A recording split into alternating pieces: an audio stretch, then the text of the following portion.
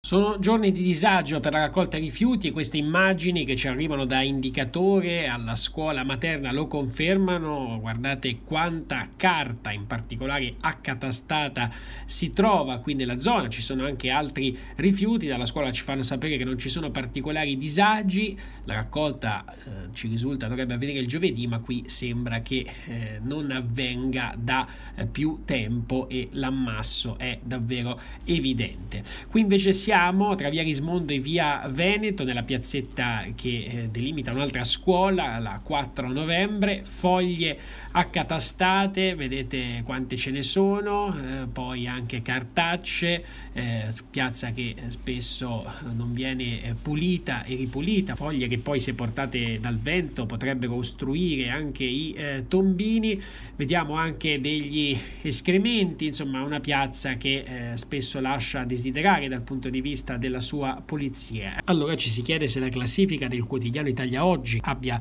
tenuto conto anche di questi disservizi dei rifiuti e nella pulizia delle strade.